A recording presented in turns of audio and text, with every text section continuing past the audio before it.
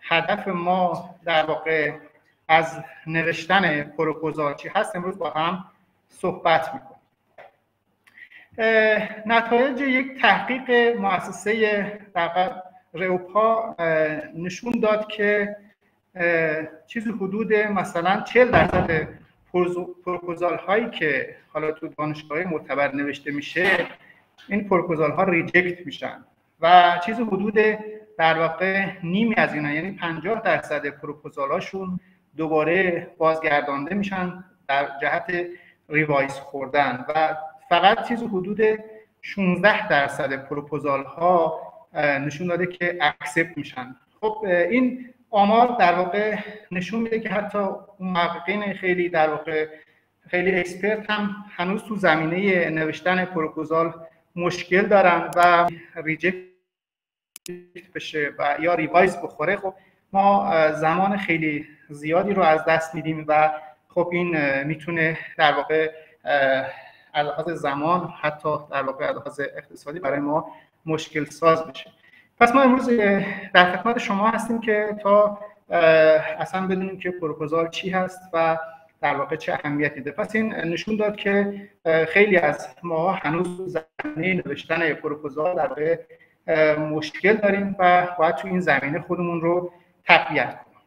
خب مباحثی که امروز می‌خوایم در موردش بحث کنیم اول حالا قبل از اینکه بپردازیم مثلا پروپوزال چیه چجوری نوشته میشه از ابتدایی ترین در واقع شکل اون که اول به صورت یه ایده خام هست شروع می‌کنیم بعد قسمت های مختلف پروپوزال مثل مثلا title یا عنوانش مقدمه یا introduction ش یا در واقع طرح مسئله و اهمیت موضوعی خودمون و محدودیت های در واقع حالا مطالعمون یا در واقع مروری بر ادبیات و مطالعات گذشته چجوری در واقع اهدافمون رو توی پروپوزال بنویسیم یا در واقع هایپوتز یا فرضیه و سوالاتمون رو در واقع داخلش حالا بنویسیم بهش بپردازیم.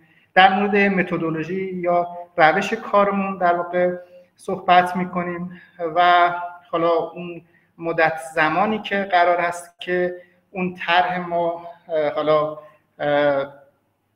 در واقع طول بکشه تا انجام بشه بودجه که ما نیاز داریم برای این کارمون در واقع چجوری بنویسیم ارگان هایی که قرار هستن از ما حمایت حالا مالی کنن خب داخلش می نویسیم و در نهایت هم منابعی که استفاده کردیم رو در واقع میاریم و در نهایت در واقع اون حالا نتایجی که قرار از این پروپوزال به دست بیاد و جامعه‌ای که قرار از این استفاده کنن رو متذکر بشیم خب پس بنابراین همه در واقع این کار تحقیقاتی یا ریسرچ ابتدا از یک سوال در واقع پژوهشی شروع میشه و در نهایت ما برای اینکه این سوالمون رو بتونیم در واقع به دیگران بفهمونیم نیاز داریم که این سوال رو به صورت مکتوب در واقع درش بیاریم. بشه یک شکلی که برای دیگران در واقع این ایده یا این سوالی که تو ذهن ما بوده قابل فهم باشه دیگران هم بفهمن. ما در واقع چی تو کلمون داریم که در نهایت در واقع بتونن حالا از ما این طرحمون رو بپذیرن و از لحاظ مالی ما را ساپورت کنن.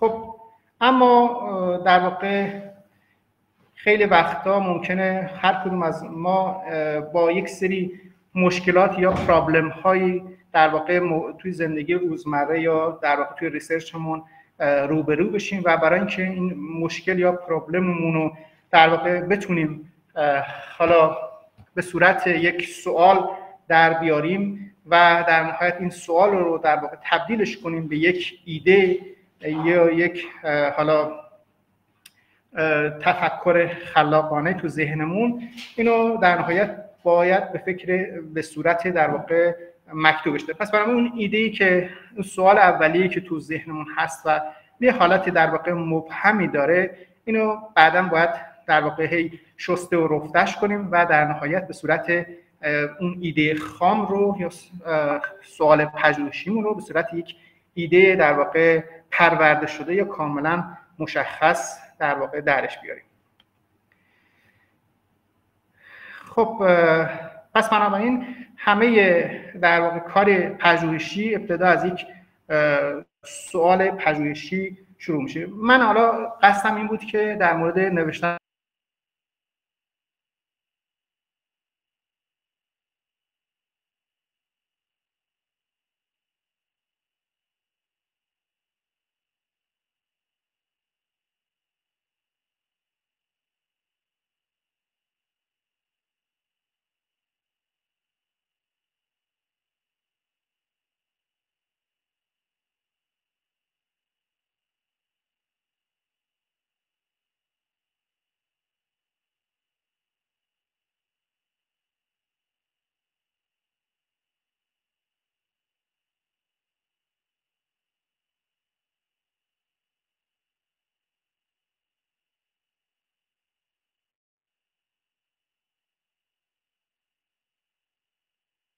میشه و در واقع خیلی خوبه که ما در واقع بدیم بریم دنبال این که در واقع حالا تحقیق کنیم اون ایده رو در واقع کاملش کنیم و در نهایت به صورت عملی در بیاریم. خب این پس بنابراین همه چی از یه سوال شروع میشه.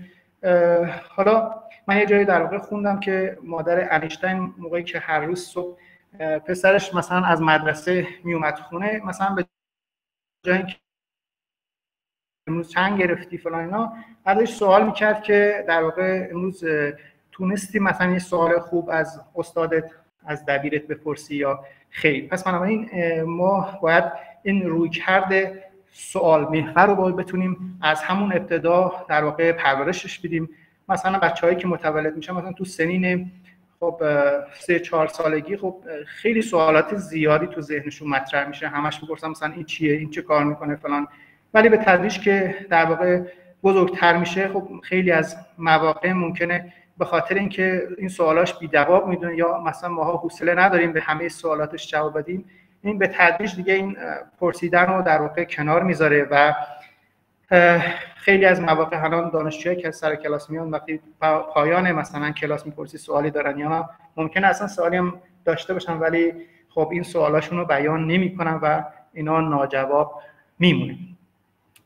پس بنابراین ما در واقع باید یک روی کرده در واقع از بالا به سمت پایین داشته باشیم در مورد اینکه حالا اون پروبلم مشکلمون چیه؟ یعنی قراره که چه کاری انجام بدیم ما و در واقع اینکه باید روشن کنیم که چرا باید این کار انجام بدیم. پس بنابراین در واقع این research خوب این سوال خوب سوال پژوهشی خوب در نهایت تبدیل میشه به یک در واقع ایده خوب. این به صورت از بالا به پایین هست. گفتیم که در واقع ابتدا به صورت کلی تر است. و ما هی میان در واقع کنده کاریش می‌کنیم. در نهایت چکش کاریش می‌کنیم و این سوال رو به یک ایده در واقع خوب و قابل فهم درش میاریم.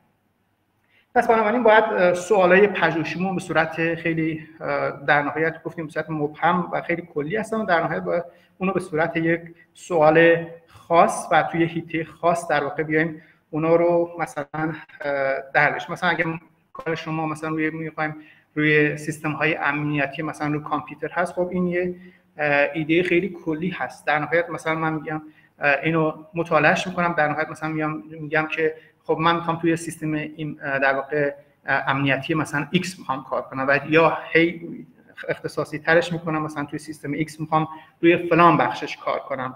یا مثلا توی زمینه در واقع حالا فرض مطالعات خب که مربوط هستن به پیتی پزشکی. مثلا اول مثلا field تو مشخص می‌کنه. مثلا می‌خوام روی cancer کار کنم. می‌خوام یا می‌خوام روی دیابت مثلا مورد علاقه من هست کار کنم. خب خود cancer یا دیابت خب حیطه های متفاوتی داره. خب مثلا یک حیطش اینه که من می‌خوام در واقع تو زمینه طراحی دارو تو این زمینه کار کنم. یا مثلا یک در واقع یا تو زمینه مثلا cancer مثلا می‌خوام روی طراحی واکسن کار کنم. سوال بعدی باز تو پیش میاد که خب واکسن کدوم قسمت؟ مثلا کدوم ژن این در واقع مثلا چه سرطانی مثلا کار کنم حالا بعد میگه میگه که می‌خوام تو مثلا سرطان برس کار کنم. خب باز توی سرطان برس باز هی تخصصی تر میشه. مثلا می‌خوام توی در واقع ژن بالفرض هرتو رو انتخاب کنم. و این ها هی در واقع هر چه به سمت پیش جلوتر پیش میره این سوالات خیلی تخصصی تر میشه و اون هیته ما در واقع باریک تر میشه. پس بنابراین در واقع سوالا باید روشن کنه که ما دقیقا می‌خوایم چه کار انجام بدیم و چرا در واقع می‌خوایم این انجام بدیم و در واقع کجا در واقع باید این کار انجام بشه و چه زمانی در واقع این, این کار انجام بشه که بشه یه سوال پژوهشی خوب باید به همه این جوانب بتونه در واقع جواب بده. و بتونیم در واقع اون حالا این سوال ما جوری نباشه که مثلا خیلی تخصصی بشه فقط بتونه در واقع جمعیت زیادی رو بتونه تحت پوشش باشه. مشکل خیلی از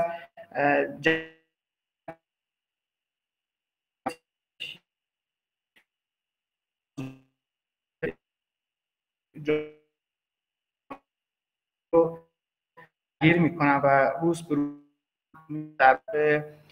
بیشتر میشه دغدغه در مورد کووید همه این رو درگیر کنن. کووید یک مسئله در واقع الان جهانی هستش. پس بنابراین کار کردن روی موضوعاتی که خیلی درگیر هستن خب می‌تونه هم در واقع توی اکسپت اون پروپوزالمون داخل باشه و دیگران با آغوش باز اینو می‌تونن بپذیرن و تو داوری ها اینا ما رو در واقع اذیت نکنن. پس بنابراین حالا توی حالا ایده یا سوال پژوهشی سوالاتی که باید بهش جواب بدیم اینه که قراره که رو چه چیزی کار کنیم؟ یعنی جامعه هدف ما چیه؟ مشکل ما چیه؟ روی چه بیماری مثلا کار مثلا جوابش اینه که مثلا من می‌خوام روی در واقع دیابت کار کنم. یا مثلا توی یا کنسر کار کنم. باز اختصاصی تر میشه مثلا دیابت. باز فرض می‌خوام در واقع توی این بیماران چی کاری انجام بدم؟ مثلا می‌خوام قند خون اینا رو در واقع اندازه کنم. یا مثلا قراره که چه حالا اینترونشنی انجام چه مداخله ای روی این بیماران دیابتی مثلا انجام بگیرم مثلا قراره که مثلا من یه داروی گیاهی رو به اینا در واقع بدم. یا سوال بعدی اینه که خب دقیقا چه داروی یا چه گیاهی قراره که کار بشه؟ و حالا سوالای تخصصی تر میشه. خب قراره که بالفرض اگه من دارم یه مطالعه کیس کنترل کار می‌کنم خب باید بتونم اون گروهی که حالا دارو گرفتن و گروه کنترل گروه در واقع دارو نگرفتن باید بتونم در نهایت اینا رو مقایسه کنم ببینم تا اثرات اون داروی خودم رو بتونم در واقع ببینم. و سوال بعدی این که حالا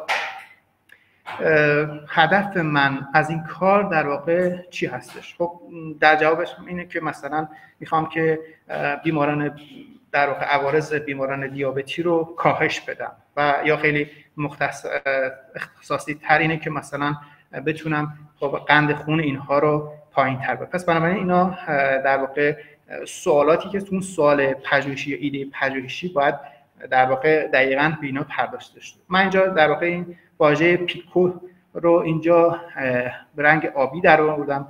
بعدا حالا با این کارش داریم حتی توی نوشتن عنوان با این PICO که P ش همون در واقع problem یا patient یا و I ش همون intervention شه و سیش همون کامپریژن یا مقایسه و در واقع اوش که در واقع اوتکام هست. بعدا این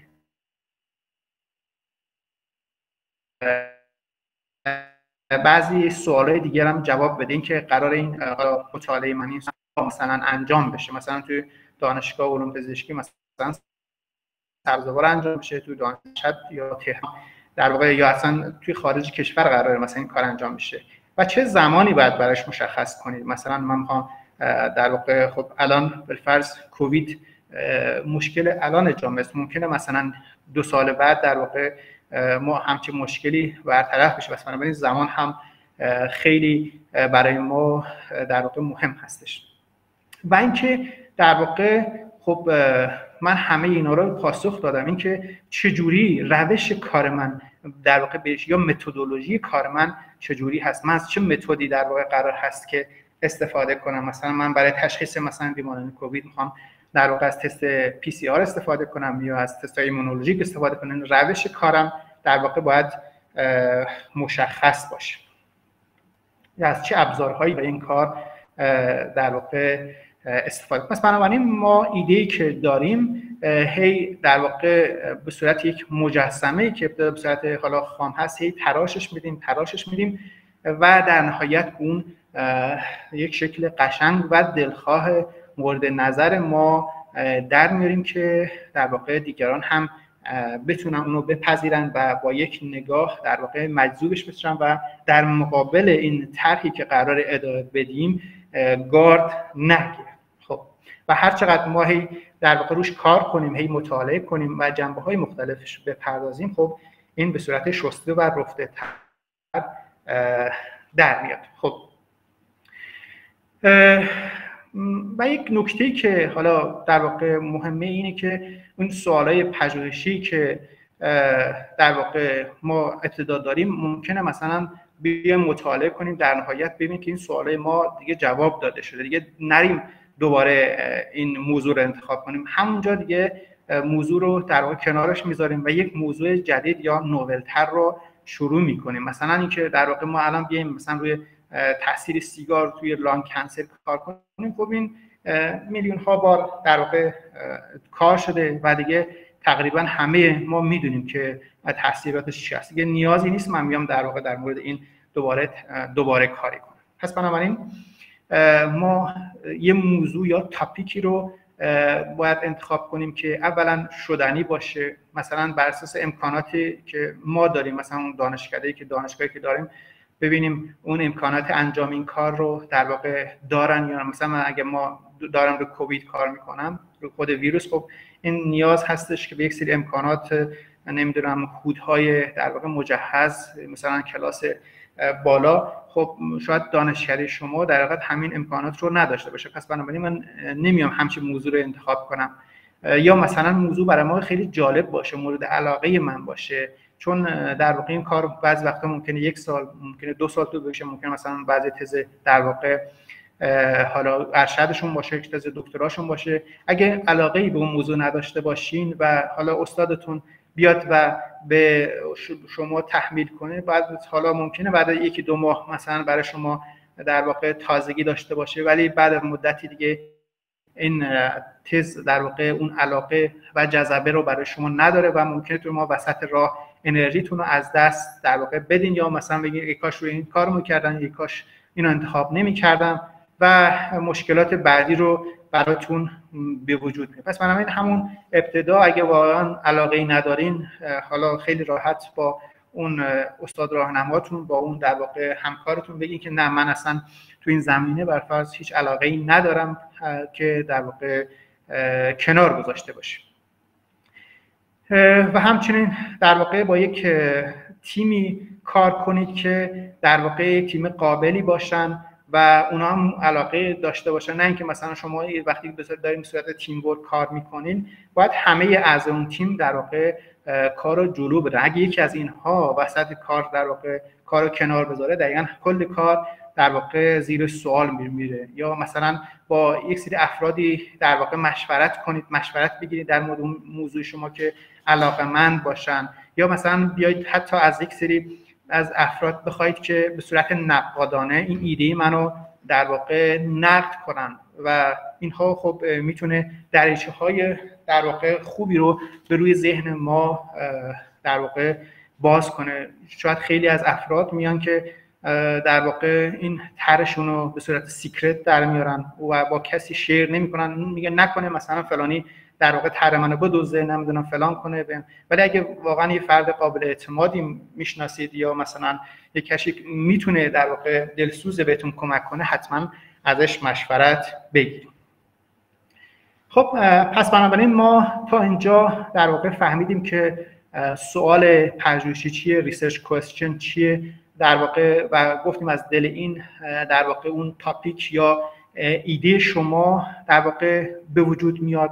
و این ایده شما بعدا باید بتونید به صورت نوشتاری به صورت یک پروپوزال شسته و در واقع آماده در واقع درج حالا اینکه هدف ما از نوشتن پروپوزال چیه؟ البته قبل از اینکه بخوام این سوال جواب بدم اصلا بپرزیم که خب پروپوزال به صورتهای مختلفی با واجه های مختلفی در واقع بیان میشه. مثلا میگن طرح پژوهشی یا مثلا یک در واقع شکل مختصر طرحمون یا پلن ریسرچمون یا مثلا در واقع پروپوزال پژوهشیمون یا مثلا پلن در واقع پایان نامه همه اینها در واقع یک معنی رو میدن و حالا این عکسی هم که توی background صفحه اولم گذاشته بودم منظورم هدفم این بود که یک جرقه در واقع تو ذهنمون بیفته. خود کلمه در واقع پروپوزال در واقع به چه معنی؟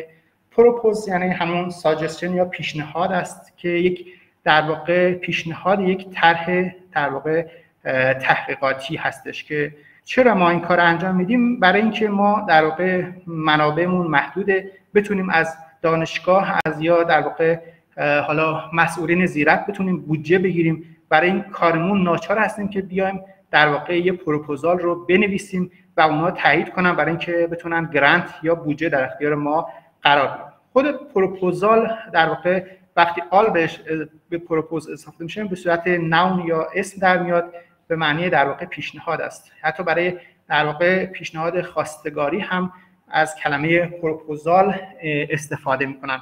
اینو در واقع به این خاطر در واقع این عکس رو گذاشته بودن که هیچ وقت یادتون نره که کلمه پروپوزال به چه معنی هستش.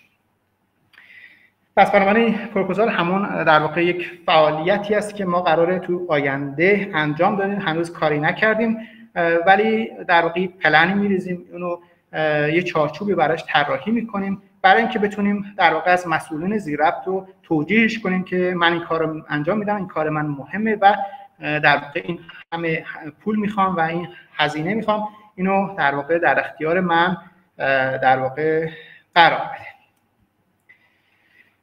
خب پس بنابراین پروپوزال شما باید بتونه به یک سری سوالات جواب بده. اینکه دقیقا شما دارید چه کاری انجام میدین؟ این در واقع اون عمله که می‌خواین انجام بدین رو به صورت واضح بیان می‌کنی که شخص در واقع که تو هیته کاری شما نیست با خوندن این پروپوزالتون توجیه بشه که دقیقا شما دارید چه کاری می‌کنید. گیج و سردرگم نشه. اگه همونجا در واقع نفهمه دیگه طرفتون رو در واقع ریجکت می‌کنه و شما مجبورین دوباره حالا بریم یه طرح دیگه انتخاب کنید و کلی هزینه ممکن از دست بدیم خیلی وقتا ممکن اون طرحتون خیلی طرح قشنگی باشه ولی شما نتونستین خوب پرزنتش کنید و دیگران رو در واقع توجیه کنید که من چقدر در واقع اهمیت داره.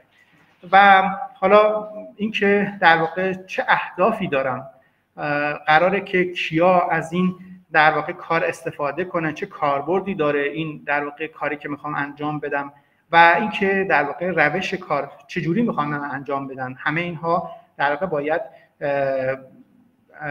بتونید اینو کامل انجام بدید که دیگران از شما بپذیرن.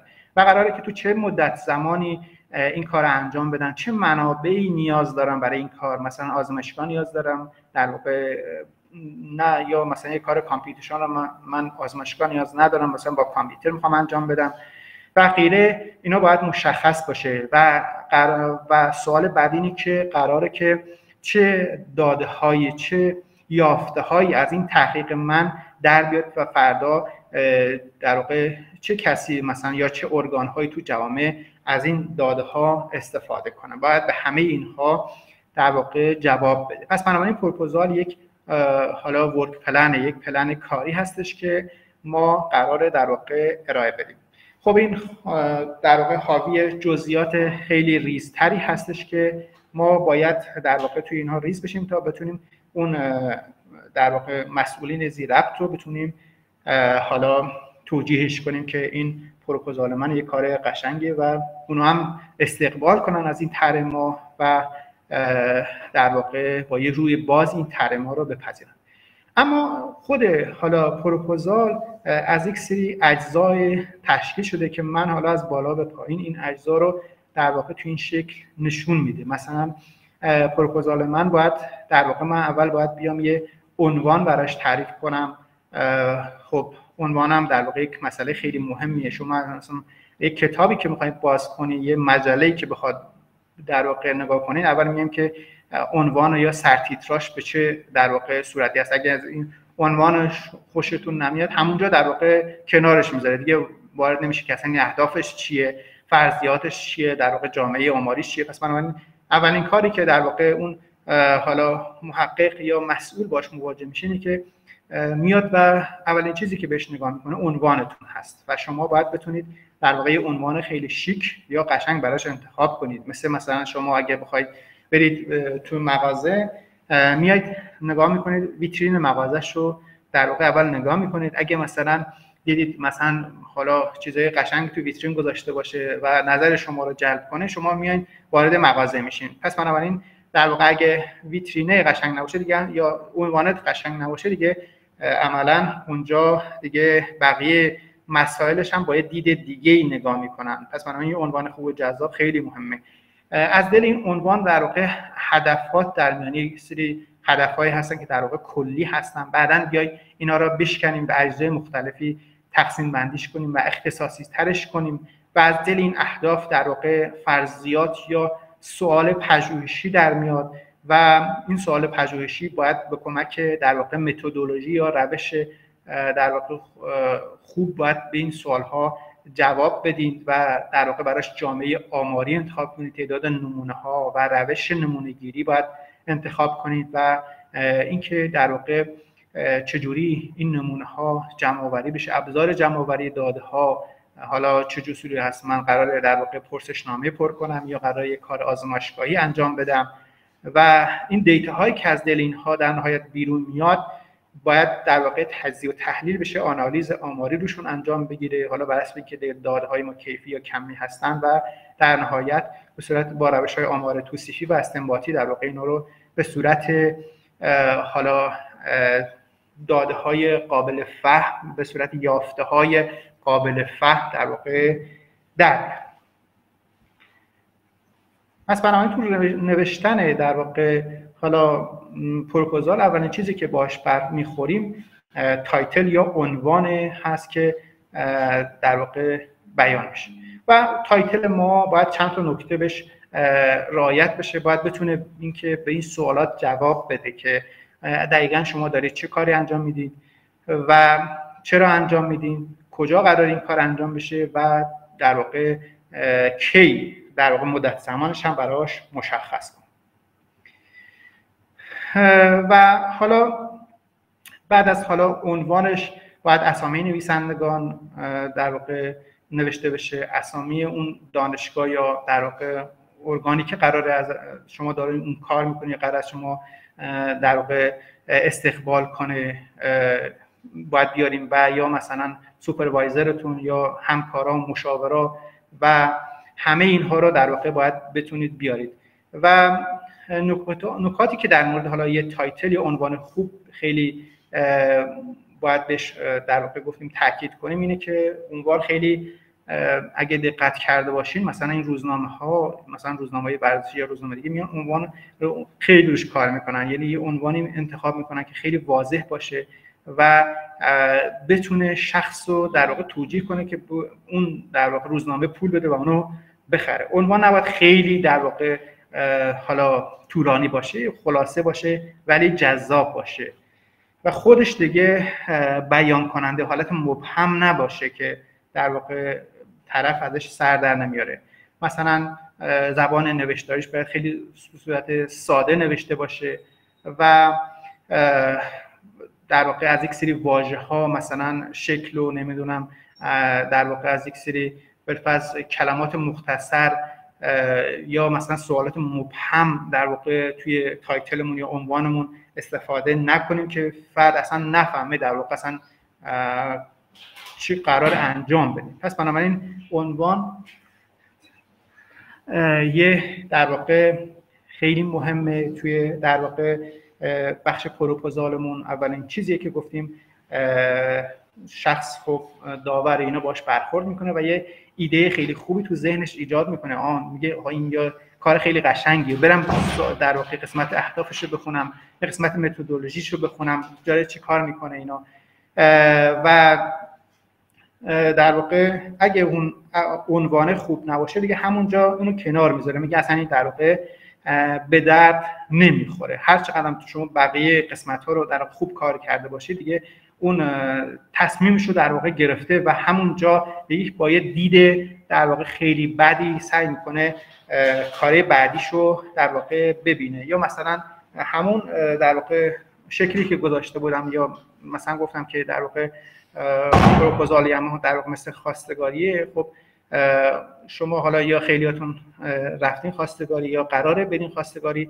title مثل اینه که اون ظاهره در واقع اون فرده. فرق شما اگه می‌خوایم برین خواستگاری سعی می‌کنین یک کت قشنگ بپوشید. در واقع کفشاتون همه مرتب. فلان.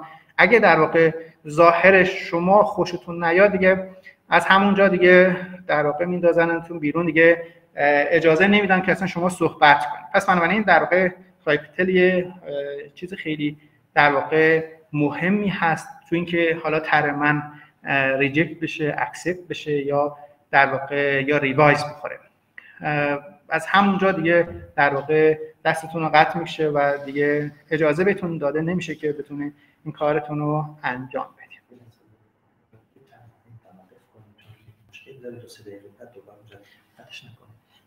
خود مهندس. آره. میگن که هم اعلام کنید که لینک با مشکل مواجه شده. دو سه دقیقه صبر می‌کنیم مهندسی مشکل برطرف بکنن. بس رو داریم. خب دوستان ظاهرا یک لحظه در واقع این لینک دچار مشکل شده. به چند لحظه صبر کنید. الان مهندسی آی تیمو داره سعی می‌کنه مشکل رو حلش کنه و انشالله به محض اینکه مشکل حل شد دیگه دوباره در خدمت شما هستیم. تو این حالا زمینه اگه تا اینجایی که صحبت کردیم اگه سوالی هست جواب میدیم و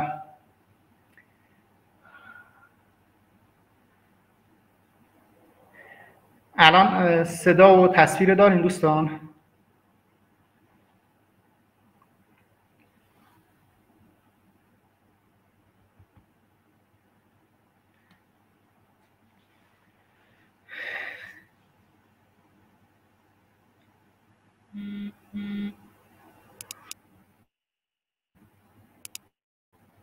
اما حالا چیزایی که در واقع باید توی نوشتن پروپوزال یا هایی که باید رعایت کنیم اینی که نیایم در واقع داستان بنویسیم خیلی در واقع طولانیش کنیم خیلی از افراد ممکنه حوصله نداشته باشن.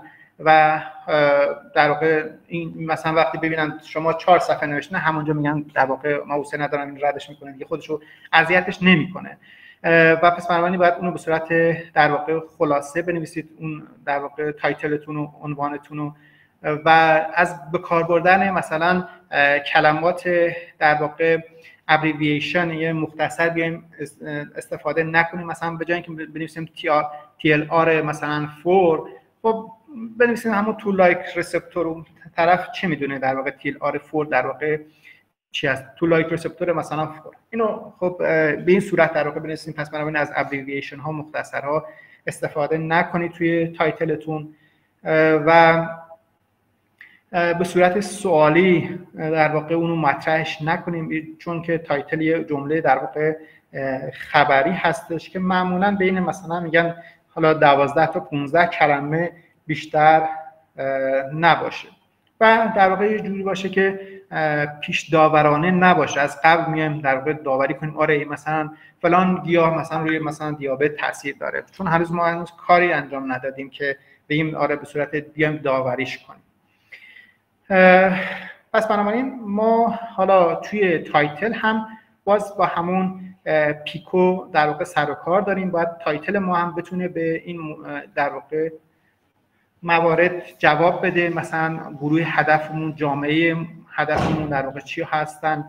یا در قراره که مداخله که انجام بگیره به چه صورتی باشه؟ من قرار مثلا یه واکسن تزریق کنم من قرار یه دارویی بهش بدم. و یا در واقع چه کاری در واقع انجام مثلا مثلا هم توی موش ها در واقع نمی‌دونم پانکراسشون جدا کنم یا کار دیگه که ممکن انجام بشه. یا مثلا بعد سوال بعدی رو باید اینه که قراره که با چه مقایسه کنم. خب این کاری که انجام میدم مثلا اگه ما یه گروه دارو دارم باید با گروهی که دارو نگرفتن باید اینا رو بتونم مقایسه کنم. در نهایت اختلاف اینها رو در واقع بیام بسنجم که عوارض اون داروی منو در واقع پی ببرم.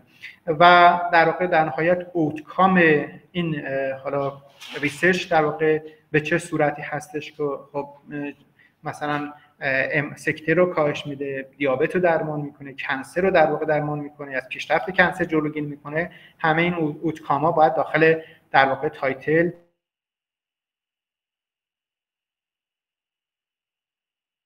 خب من یه در واقع clinical trial می‌خوام انجام بدم یه مطالعه پایلوت در واقع انجام می‌گیرم یه ترم یه ترم توی در واقع title ازش استفاده بشه. مثلا مثلا حالا یه طرحی که در واقع به عنوان مثال آورده مثلا بررسی ارتباط بین نسبت سطح هورمون های بافت چربی با stroke ischemic این عنوان طرحی بود که حالا چند سال پیش خودمون با هم با کمک همکارامون ارائه داده بودیم. خب در واقع اینجا پس اومده در واقع اون participant یا اون بیماران رو مشخص کرده بیماران stroke ischemic و قراره که چه عملی انجام بشه. سطح هورمون های در واقع بافت چربی رو اومده در واقع تو این حالا سنجیده ارتباط بین هورمون های بافت چربی مثلا با بیماری در واقع سکته مغزی رو در واقع اومده بیان کرده البته خب این طرح از جهات دیگه ای که مثلا حالا ممکنه در واقع باید اشکالات زیاد داره مثلا که باید این مطالعه این مطالعه مثلا case control هست می‌تونست تو این در واقع انجام بگیره یا مثلا بیای بیماران stroke با بیماری سالم در واقع مقایسه کنی از سطح هورمون های بافت چربی. و اما یه نمونه هست از عنوانی که در واقع اینجا آورده خیلی صورت مختصر هست و خیلی هم کوتاه و دقیقا می‌فهمی که در واقع این چی قرار انجام بده. در نهایت من این موضوع رو حالا قسمت مختلفش رو باز دوباره میارم تو قسمت مثلا introduction ش رو میارم یا قسمت های دیگه رو با هم بررسیش می‌کنیم و می‌تونیم ایرادایی که در واقع این طرح داره رو اینجا بهش پی ببریم. پس بنابراین ما از همون ابتدا که شروع می‌کنیم پس یه عنوان هستش. بعد بخش دیگه که بهش می‌پردازیم قسمت introduction هستش یا مقدمه هست. پس ما تا اینها جا فقط در مورد عنوان صحبت کردیم. تو قسمت introduction میایم و در واقع به اون سوالای پژوهشیمون جواب میدیم. قراره که در واقع چه کاری انجام بدم چرا انجام بدم و چجوری در واقع انجام که معمولا مقدمه introduction به صورت خلاصه توی حالا چند تا پاراگراف شما باید به این سوالات در واقع جواب بدید. برای اینکه به این سوالات introduction در واقع جواب بدید لازمه که شما برید مطالعه انجام بدید مقالات و مطالعات دیگران رو مطالعه کنید و این توی قسمت literature review یا بررسی متون قرار می‌گیره که دیگران در واقع چه کاری انجام دادن چه کاری انجام ندادن و در واقع چه گپی وجود داره یعنی در واقع اون پازلی که تو موضوع خاص وجود داره چه کاری انجام نشده که من بیام در واقع اون گپ رو انتخاب کنم و به اون موضوع بپردازم. اگه قراره که در واقع به این پی ببرم که دیگران دقیقا همین کار رو چندین نفر انجام دادن دیگه لزومی نداره. من بیام در واقع یک کار تکراری انجام بدم و راهی که اونا رفتن رو در واقع تکرار. این دیگه نمیشه بهش بگیم نوآوری. چون اگه قراره که نوآوری انجام بشه در واقع باید کاری باشه که دیگران انجام نباشه نداده باشن. البته این به این معنی نیست که مثلا در واقع خب مطالعات خیلی زیادی انجام میشه. مثلا یه حالا یه مطالعه که انجام شده باشه در مورد مثلا پلیمورفیسم. خب توی جامعه مثلا کره انجام شده بود. ما اومدیم تو جامعه ایران انجام دادیم. چون در واقع عملا بر فرض ژنتیک متفاوت توی مثلا جامعه در واقع شرق آسیا مثلا با نمی‌دونم خاورمیانه. خب این نمیشه در واقع بهش بگیم یه کار در واقع تکراری. یا ممکنه مثلا بعضی مواقع خب مطالعات زیادی توی مسئله انجام شده. در واقع و نتایجش متفاوته. بعضی میگن در واقع این اثر داره بعضی میگن اثر نداره. خب اینجا می‌تونیم در واقع این کار رو انجام بدیم برای اینکه به این در واقع تناقض ها به پایانش بدیم می‌تونیم در واقع این کار رو انجام بدیم. و برای اینکه بخوایم در واقع این کار رو انجام بدیم باید یه روشی برای در واقع اون داشته باشیم. پس بنابراین ما از بالا شروع می‌کنیم. همون در واقع introduction یک نوع در واقع دستگرمی هست. شما در واقع همون مجلس در واقع خواستگاری که شما تشریف ببرین. سریع نمیان وارد در واقع مبحث بشین که ما قرار اومدیم در واقع خواستگاری کنیم. میایم در واقع یه مقدمه چینی می‌کنیم از یه جای شروع می‌کنیم. یه در واقع یا احوال پرسی این ور او ور. بعد در واقع یه جایی می‌رسیم که می‌رسیم یه و طرف میگه حالا برسیم به اصل مطلب. اونجا هست که میایم در واقع اون چیزتون رو شروع می‌کنیم پس بنابراین اینجا هم introduction یه حکم همون گرم کردن رو داره و ذهنتون رو آمادش می‌کنه برای اینکه بپردازیم به اون موضوع در واقع اصلی. حالا در نهایت و قسمت های بعدی که در ادامه بهش خواهیم پرداخت. پس بنابراین ما توی قسمت انتخاب موضوع و بیان مسئلهمون باید بتونیم به این جوابا به این سوالات جواب بدیم که عملا مشکل چی هستش و و چرا ما باید در واقع این کار رو انجام بدیم. اینا جزء انتخاب و بیان مسئلهتون میشه و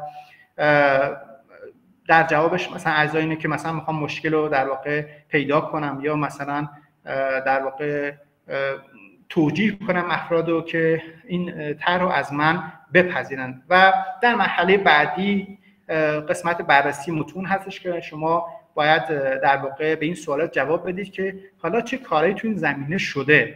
برای این کار به این سوالات جواب بدید باید برین منابع مختلف کتاب های مختلف رو در واقع مطالعه کنید تا بتونید به این سوالات قسمت بررسی متون حالا جواب بدین. تو قسمت حالا هدف و مقاصد هم در واقع شما باید به این سوالات در واقع جواب بدین که چرا من کار انجام میدم؟ اصلا هدفتون از این کار در واقع چی است؟ که اون هدف ابتدا به صورت کلی هستن و بعد باید به صورت جزئی تر اینا رو در واقع حالا درش بیاریم. مثلا اگه شما ازتون در واقع سوال بشه که هدفتون از خواستگاری چیه خب شما ممکنه مثلا توی در واقع جواب اولتون میگه خب من می‌خوام دخترتون رو خوشبخت کنم. خوشبختی در واقع واژه کلی هست.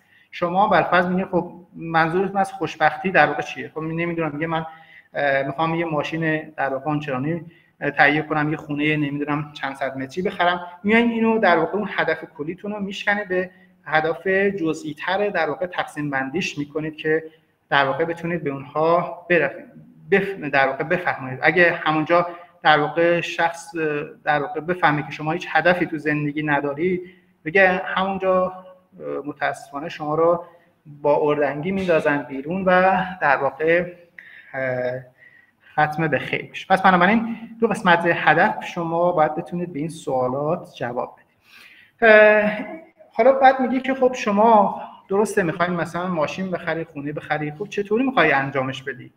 شما باید بدین در واقع مثلا که خب من به فرض می‌خوام یه وام بردارم نمی‌دونم یه در واقع کارگاه نمی‌دونم فلان بزنم و نمی‌دونم مدرک فلان چیز رو دارم می‌خوام در واقع از این طریق در واقع این کار انجام بدم. برش در واقع اون متدولوژی و روشش رو توضیح میدیم و تو قسمت در واقع متدولوژی ما سر کار داریم با یک سری متغیرهای مختلفی که در واقع قراره که حالا این متغیرها آنالیز بشه و در نهایت داده های حاصل از اینها جمع آوری بشه و اینها آنالیز بشه و در نهایت به صورت یک در واقع یافته های قابل تفسیر بتونیم اونو به جامعه ارائه بدیم. سوال بعدی که در واقع مطرح میشه اینه که چه کسی و چه زمانی در واقع این اطلاعات رو قرار جمع آوری کنه که این برمیگرده به پلن کاریتون که مثلا در واقع تقسیم بندی کنید که فلان بالفرض همکارمون مسئول جمع آوری نمونه هست فلانی قراره که مثلا real time بذاره فلانی قراره که آنالیز آماری انجام بده و همه این هم براش مدت تعیین کردیم مثلا بالفرض آنالیز آماری من مثلا یک ماه طول می‌کشه مثلا جمع آوری نمونه من یک سال طول می‌کشه و اینها در واقع به زمان بندی شده باید اینو تحویلش بدیم. یا مثلا در واقع حالا قسمت administration یا ناظران که حالا خود در واقع دانشگاه معمولا ناظر انتخاب می‌کنه که برای کار شما در واقع نظارت کنه که تو چه مرحله هستید اینا زیاد به شما در واقع مربوط نمیشه. اما قسمت این که در واقع بودجه یا fund ی که قراری که به شما در واقع داده بشه مثلا باید مشخص کنید یه طرح مثلا درون دانشگاهی بین دانشگاهی یا مثلا بین المللی قراره که چه حالا در واقع مثلا ارگان های شما رو تو این قسمت در واقع ساپورتش کنید اینا همه باید مشخص شده باشه. یعنی که این در واقع سوال بعدی این که چی رو من باید در واقع سابمیت کنم؟ جوابش اینه که مثلا باید من یه پروپوزالی رو تهیه کنم و اونو بفرستم یا سابمیت کنم برای مثلا دانشگاه یا قسمت پژوهشی. که این کار رو انجام بده باید خود در واقع محقق اینو انجامش بده. و چی رو باید سابمیت کنه همون در واقع پروپوزالی که آماده شده هستش که و کجا که دیگه مشخصه. حالا سایت دانشگاهی که شما دارید و حالا جای دیگه که هم بعضی ممکنه مثلا ایمیل کنن و این پروپوزالشون رو باید برسونن به دست اون مسئولین زیربط و در نهایت داوری بشه و کارهای دیگه روشون انجام بشه. خب ما در مورد حالا در واقع title صحبت کردیم. introduction هم یه اشاره کردیم که مقدمه ما اینو گفتیم دستگرمیه و قراره که ما از یه جای شروع کنیم و یه ذهن خواننده رو آماده کنیم تا در نهایت در واقع بپردازیم به اصل مطلب که همون مشکلمون هست و در مورد اهمیت اون مشکل در صحبت کنیم. بعدش که حالا مشکل رو در واقع بیان کردیم باید بتونیم مشکل مثلا تعریفش کنیم. مثلا اگر دارم رو دیابت صحبت می‌کنم باید بدونم که تعریف دیابت چی هستش اهمیتش چیه مثلا شیوعش توی دنیا چقدر هستش. کلی شروع کنم مثلا از دنیا شروع کنم مثلا برفرض توی کل دنیا شاید چیز حدود برفرض 7 8 درصد مثلا دیابت داشته باشن ولی خب جامعه ما که مقداری بیشتر مثلا 8 تا 9 درصد و شاید از این هم در واقع بالاتر باشه به خاطر اینکه حالا lifestyle ها و در واقع غذاهای ما متفاوت شده و چاقی تو جامعه ما در واقع شیوع پیدا کرده کم تحرکی و این باعث میشه که خب میزان شیوع دیابت هم بالاتر. پس از اینجا در واقع شروع می‌کنید و در نهایت می‌پردازیم به اون کاری که قراره که من انجام بدم دلیلی که می‌خوام این کار انجام بدم.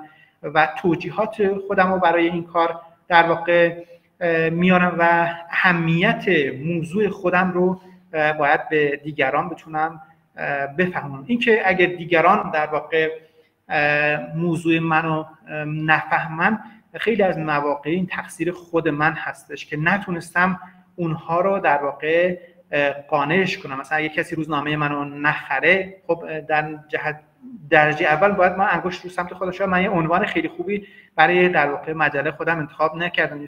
شاید یه موضوع خیلی خوبی رو انتخاب نکردم. و خیلی از مواقع باید ما بیشتر روی خودمون در واقع کار کنیم یا به جای اینکه مثلا بگیم آره فلان داور خیلی سختگیر بوده نمی‌دونم تر من رو گیر داده من ریجکت کرده فلان کرده. شاید اولین مقصر اصلی در واقع خودمون باشیم که نتونستیم در واقع اونو خوب پرزنت کنیم. و اینکه شرایط حاضر اون مشکل به چه صورتی هست و اینکه قراره که چه کسایی از این در واقع یافته های ما سود ببرن و استفاده کنن چه کاربردهایی توی جامعه ما داره ما توی این بخش در واقع باید بهش جواب بدیم. پس بنابراین تو قسمت مقدمه یه طرح کلیاتی از موضوع بحثمون و متغیرهای اون تو ذهن مخاطب در واقع برای ورود به مسئله اصلی یا پروبلممون آماده می‌کنیم.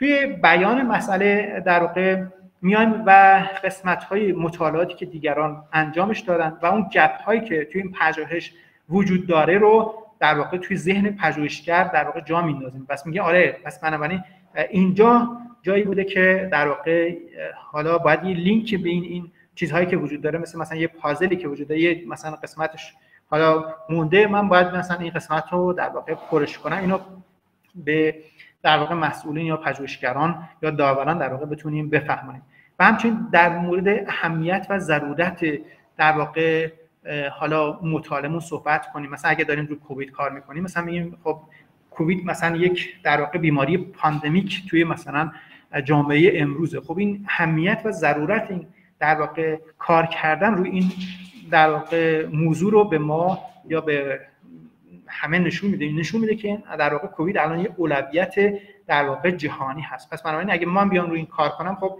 خیلی از مواقع در واقع پاسخ مثبت میشنم. یا مثلا پژوهشگران منتظرن که شما یه مقاله یا یک پروپوزال در زمینه کووید ارائه بدید. چون ذهنشون در واقع آماده هست. بعد مورد اهمیتش در واقع این قسمت صحبت کنم مثلا همون موضوعی که ارائه داده بودن در مورد سکته مغزی یا استروک در واقع همون قسمت مقدمش اینجا آوردم که گفته مثلا از شروع کرده اصلا سکته مغزی در واقع استروک در واقع چی هستش تعریفش رو در واقع گفته. البته این گفتم این پروپوزال یک سری نقایصی داره.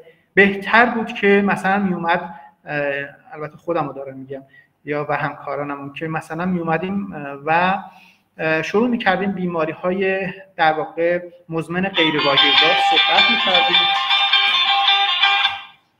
در موردش و بعد می اومدیم حالا شروع بیماری های مزمن غیر واگیر چی هستش؟ مثلا دیابت سکته در واقع مغزی سکته قلبی و اینا. بعد می اومدیم وارد در سکته مغزی می شدیم تعریفش می کردیم که سکته مغزی مثلا یا استروک یک نقص نورولوژیک ناگهانی با منشأ عروقی موضعی در واقع تعریفش. تعریفش هست که بعدا در واقع بعد اومده نوشته مثلا شویش توی آمریکا چقدر بعد تو ایران چقدر و در واقع فرم استروک ایسکمیکش در واقع به چه صورت؟ این به صورت جزئی تر در واقع بهش می‌پردازه. اهمیت اون در واقع توضیح داد که یک سوم بیماران پس از سکته دچار ناتوانی دائمی می‌شوند و مسئول مثلا در واقع این قد در واقع ناتوانی هستش و این اومده و در موردش توضیح داده عوامل خطرش رو در واقع گفته به چیا ارتباط داره و بعد گفته که در مورد هورمون های بافت چربی ادیپونکتین که در واقع گفته نقش اون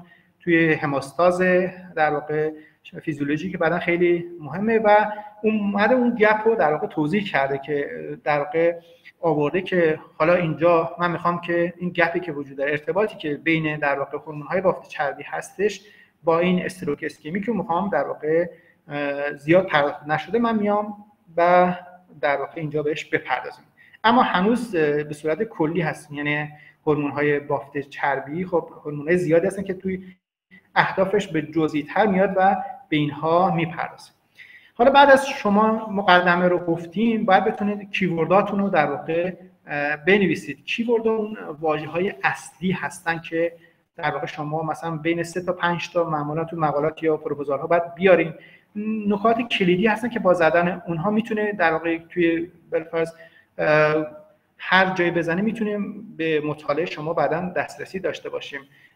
خیلی از مواقع مثلا حالا توی مقاله بیشتر اینا توجه باید بکنید مثلا باید keyword اتون برین از PubMed قسمت MeSH انتخاب کنیم یا از قسمت thesaurus توی در واقع database ERIC بیاین در واقع انتخابش کنین. چون بهتون گیر میدن که حالا در واقع این کیورداتون حالا از مش نیستن چون مش در واقع یک اصلاحنامه پزشکی هست. بخشی از در واقع حالا پاپمت هست که در واقع برای اینکه حالا بالفرض کلمه رو بتون راحتتر پیدا کنیم این اومده و پاپمت یه در واقع اصلاحنامه رو به اسم مش درست کرده که با کمک این کلمات بتونید راحتتر به اون مقالات یا research هایی که می‌خواهید در واقع دسترسی داشته باشید. یا برای search کردن این keyword ها خیلی مهمه. شما در واقع زبان کامپیوتر باید به زبان خودش صحبت کنید. کامپیوتر نمی‌تونه مثلا مثلا یک جمله بنویسیم بعد اونو در واقع بیاد برای ما پیدا کنه که در واقع به چه صورتی بوده. چند تا کلید واژه باید بتونید با کمک یک سری در واقع عملکردهای مختلف بهش میگن عملکردهای Boolean مثل مثلا and و مثل not و or و اینا بتونید با هم لینکش کنید. این keyword رو در نهایت بتونید اون مقاله که می‌خواهید رو در واقع search ش کنید. بتونید این واژه کلیدی رو به زبان فارسی و انگلیسی تعریفش کنید. مثلا خب stroke رو باید در واقع بتونید براش تعریف علمی بیارید یا در واقع با هورمون های بافت چربی مثلا adipokine ها بتونید در واقع این تعریف علمی در موردشون ارائه بدید. تو قسمت در واقع literature review یا در واقع بررسی مطالعات دیگران. باید گفتیم که بیاین در واقع مطالعات زیادی که تو اون زمینه وجود دارن search کنید بخونید و اون مطالعاتی که خیلی اصلی هستن اطلاعاتی که خیلی کمک کننده هستن چند تاش رو از این مقالات رو انتخاب کنید. بیاید اینا رو در واقع بحثش کنید و قسمت هایی که در واقع ارائه نشده اون گپ هایی که وجود داره رو بین اینها بتونید پیدا کنید و بتونید اونو در واقع به پژوهشگران اونو در واقع انتقالش بدید و این موضوع رو که در واقع آره اینجا کار نشده اگه این در واقع انجام بشه خب می‌تونه خیلی کمک کننده باشه تو این زمینه در واقع کاری و اون اطلاعات رو بتونید در واقع به صورت یافته ها گزارش کنید. معمولا مثلا توی قسمت literature review یا بررسی متون مثلا میگن که خب ماکسیموم بیشتر از حالا خیلی از دانشگاه ممکن متفاوته میگن بیشتر از 5 تا research رو در واقع اینجا نظر بیشتر مطالعات topic که خیلی با موضوع شما همخوانی دارن در واقع باید توی قسمت بتونید که مثلا توی همین عنوانی که ارائه کردم قسمت بررسی متون اومده مثلا چند تا حالا من همشو نذاشتم از سه تا مطالعه بیشتر نذاشتم.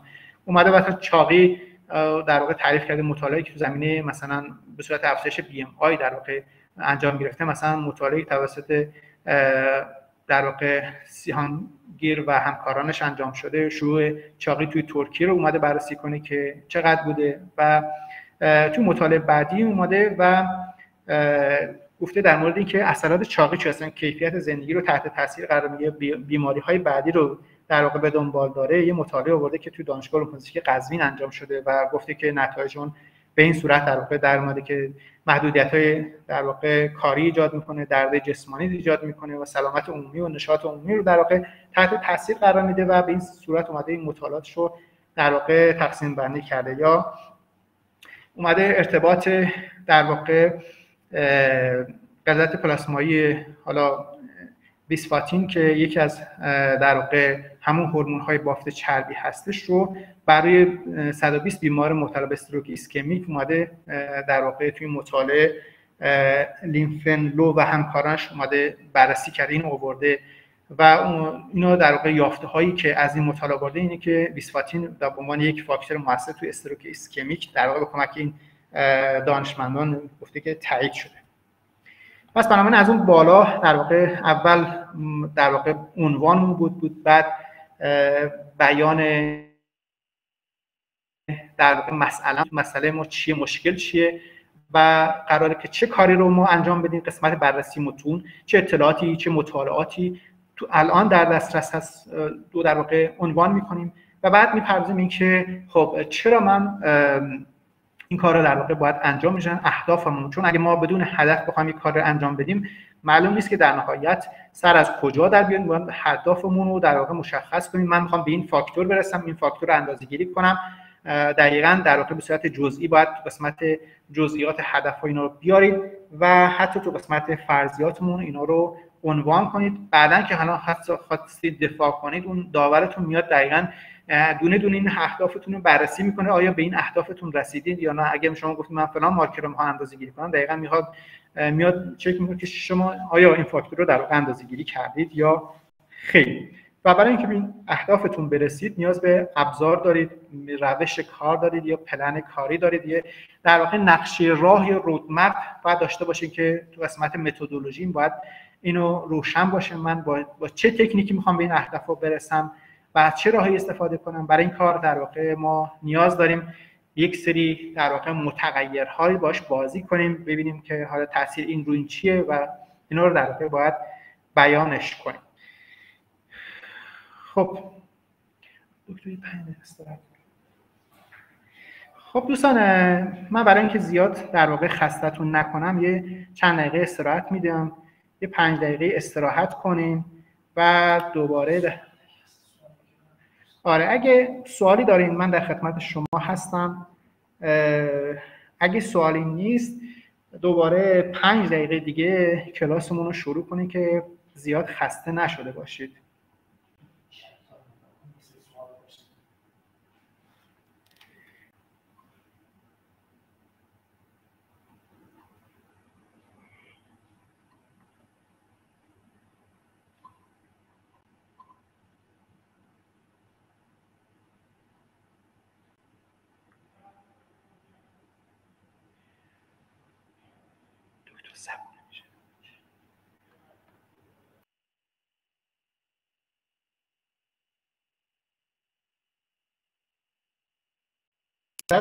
دارم.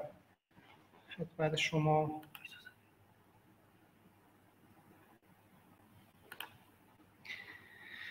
خب ما تا اینجا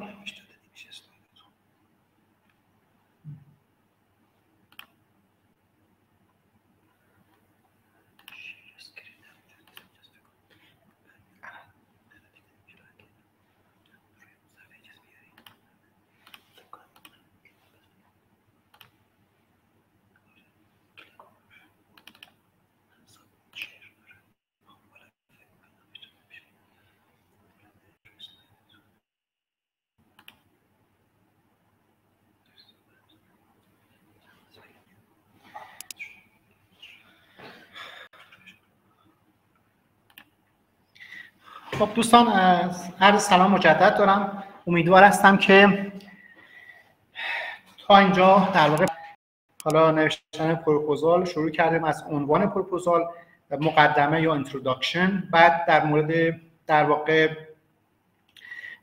بررسی متون صحبت کردیم و حالا می‌پردازیم اینکه اهداف در واقع تحقیقمون چی است؟ مثل مثلا حالا یه مسابقه دارتی که شما می‌خواین پرتاب کنید در واقع این دارتاتون قراره که به کجا بخوره؟ قرار به شما چه سوالاتی در واقع پاسخ بدید؟ یه نکته که خدمتتون عرض کنم این که من چون قسمت در واقع پلی هستم شاید سوالاتتون رو نتونم ببینم. بچه اگه حالا جواب ندادم آخر در واقع کلاس حتما جواب میدم. نگران نباشید. پس برنامه ما تو اهداف میایم و دقیقا اون نقطه‌ای که قراره بزنیم یا یافت بهش برسیم رو ترسیم می‌کنیم و عملا در واقع از های در واقع اکتیو یا فعال برای نوشتن اهدافمون استفاده می‌کنه خیلی هم مثلا همون اهداف خب هدف کلی ما دقیقا مشابه در واقع عنوانمون هست. فقط با در واقع تفاوت کوچیکی که ما معمولا تو عنوان میگیم مثلا بررسی ارتباط مثلا توی اهدافمون این بررسی رو تبدیلش می‌کنیم به تعیین. میم از این واشه های در فعال استفاده می‌کنیم مثلا مثلا تعیین مثل مقایسه مثل محاسبه مثل برآورد. نه از فعل در واقع مبهم استفاده می‌کنیم مثلا مثلا مطالعه در واقع خیلی در واقع کلی هستش. یا همون خود بررسی هم همینطور. پس من میگم از فعل در واقع مبهم استفاده نمی‌کنیم و فعل اکتیو تو این قسمت استفاده می‌کنیم.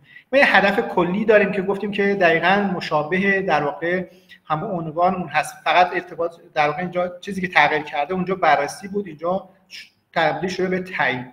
این هدف کلی رو باز دوباره میایم میشکنه مثل مثلا یه در واقع بالفرض ساختمانی که می‌خوام طبقه پنجم بریم خب این از مختلف که باید هر کدوم از پله هایی میشن در واقع اهداف خیلی اختصاصی یا هر هر کدوم از طبقات. ما اول باید برسیم به طبقه مثلا یک بعد طبقه دو تا برسیم طبقه در واقع ششم.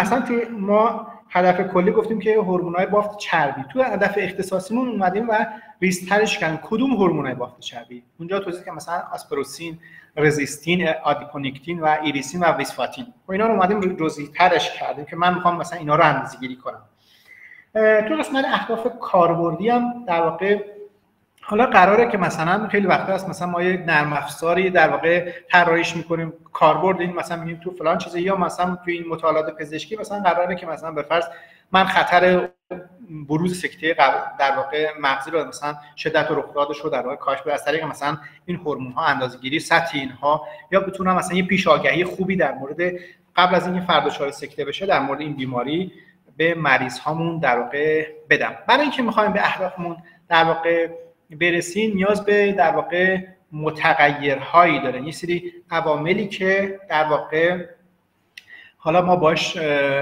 در واقع بالا و پایین میشن افزایش میدن کاهش پیدا می‌کنن و ما از طریق اینها می‌فهمیم می‌تونیم که در واقع حالا به یافته های خودمون در واقع برسیم. این متغیرها یک مفهوم در واقع که می‌تونیم اونها را مشاهده کنیم می‌تونیم اندازه گیری کنیم و اینها در واقع نوسان دارن. خود متغیرها باز به دو بخش تقسیم میشن متغیرهای کیفی متغیرهای کمی. کمی ها در واقع اونا به صورت عدد بیانش می‌کنیم. مثلا مثلا نمی‌دونم قد وزن سن. اما متغیرهای کیفی ما نمی‌تونیم در واقع عدد براشون بیان کنیم. مثلا مثلا جنس خب یا مذکر یا مؤنث دیگه نمی‌تونیم بگیم مثلا عدد براش تعریف کنیم. یا مثلا حتی توی نرم افزارهای مثلا اس که قرار اینا آنالیز بشن حروف الفبا یا کد بهشون در واقع مثلا تخصیص میدن. مثلا میگن کد یک مثلا به فرض جنس مذکر مرد و جنس و کد دو مثلا مؤنث یا مثلا خانم یا مثلا رنگ مو رنگ چشم اینا در واقع کد بندیش می‌کنه. مثلا میگه مثلا برو مثلا کد یک نمی‌دونم green کد دو نمی‌دونم همه اینها به صورت کد بندی میمونه. این در واقع پس متغیر کیفی رو ما به این صورت میایم و حالا با هم مقایسش می‌کنیم. انواع متغیرها گفتیم که به صورت quantitative و qualitative در واقع هستن. یعنی به صورت کمی و کیفی. خب کمی ها گفتیم که به صورت عدد می‌تونستیم بیان بکنیم ولی در واقع کیفی ها به این صورت نبود و باید در واقع یک کدی بهشون اختصاص بدیم. خود حالا در واقع کمی ها به صورت در واقع پیوسته و گسسته در واقع تقسیم بندی میشن. پیوسته ها در واقع مربوط میشن به اون داده هایی که ما می‌تونیم بینشون یه عددی در واقع قرار بدیم. مثلا اگه ما داریم در مورد قد صحبت می‌کنیم که واحدش مثلا سانتی متره می‌تونیم مثلا میگیم قد مثلا در واقع 180 سانتی متر و قد مثلا 190 سانتی متر ما می‌تونیم بگیم 180 نیم در واقع 185 مثلا بین اینها در یا مثلا 181 و مثلا نیم بین اینها می‌تونیم یه عدد قرار بدیم. اینا میگم در واقع کانتینیوس یا پیوسته هستن. در صورتی که ما در واقع اونایی که گسسته هستن نمی‌تونیم بالفرض این کار رو انجام بدیم. مثلا اگه ما داریم در مورد سن افراد صحبت می‌کنیم دیگه ما میگیم مثلا 40 سال و 41 سال. نمیگیم مثلا 40 سال و نیم. در واقع این پس تعریف در واقع کمی های پیوسته و گسسته. حالا باز دوباره پیوسته ها باز به دو دسته در واقع راشیو اسکیل اسکیلشون در واقع به صورت مقایسه یا به صورت فاصله ای هست. باز دوباره اینها تقسیم بندی کنون مثلا اونایی که به صورت مقایسه ای هست بالفرض صفرشون یه صفر در واقع واقعی هست. مثلا ما میگیم در واقع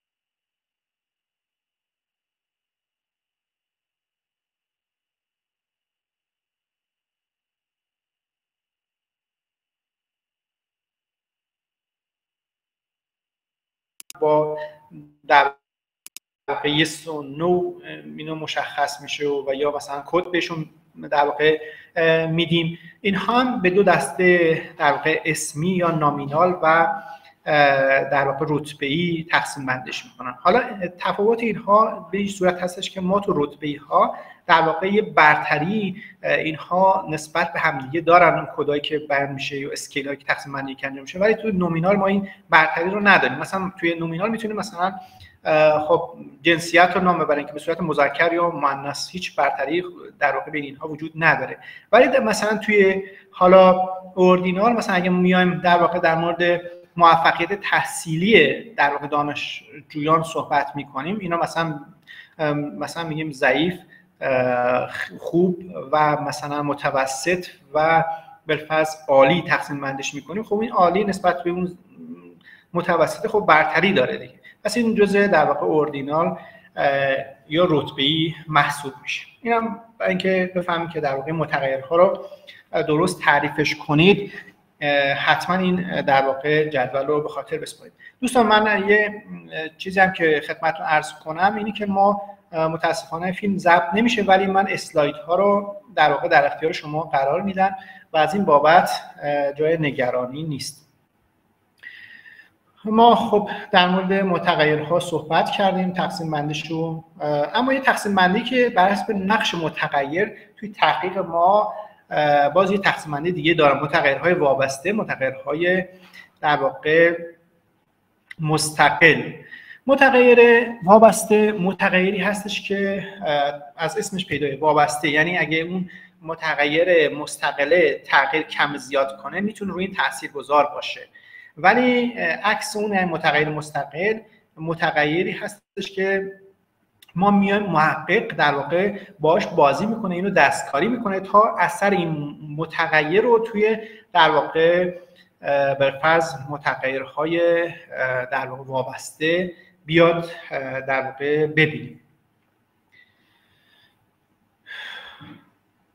بعضی مواقع متغیرهای وسط وجود دارن که می‌تونن بین متغیر در واقع وابسته و مستقل در واقع میانجیگری کنن یا اثرات متغیر مستقل رو کم یا زیاد کنن روی در واقع متغیر وابسته. پس برای متغیر مستقل متغیری هستیم که ما میایم و انتخابش می‌کنیم و در واقع حتی کم و زیادش می‌تونیم دستکاریش می‌تونیم تا اثراتش روی متغیر وابسته بتونیم بفهمیم که باعث در واقع افزایش میشه یا کاهش میشه. متغیر بعض مواقع متغیر متغیر میانجی هستن که واسطه میشه که اینکه اثرات متغیر مستقل از طریق متغیر میانجی به این متغیر وابسته منتقل بشه. و متغیر تعدیل کنندم که اینه که اثرات متغیر مستقل رو روی متغیر وابسته رو کم یا زیاد می‌تونه در واقع بکنه تصمیم. بعضی مواقع متغیر متغیرهای مداخله گر داریم یا مزاحم که داریم. مثلا که میان توی این تاثیرگذاری متغیرهای مستقل تعدیل کنند و متغیر کنترلی روی متغیر وابسته تاثیر می‌ذارن. مثلا شما ممکنه بر فرض در واقع فردی که بیلی روبینش بالا هست بخوایم به روش اسپکتروفوتومتری اندازه گیری کنیم. خب این چون طول موج بیلی روبین و کراتینین به روش مثلا ژافه در واقع عملا یکی هست این در واقع بیلی روبین میاد و تداخل ایجاد می‌کنه. مثلا ممکنه کراتینین تون بالفرض خیلی کم نشون بده. خب مت... کراتینین تغییری نکرده بلکه یه متغیر مداخلهگر یا مزاحم یا interference اومده و در واقع تو این کار مداخله انجام میده. مثلا با اینکه در واقع ممکنه طرف مشکلی نداشته باشه ولی کراتینینش رو در واقع کم نشون میده. یه جدولی داریم به نام جدول متغیرها که ما باید اینو در واقع پرش کنیم.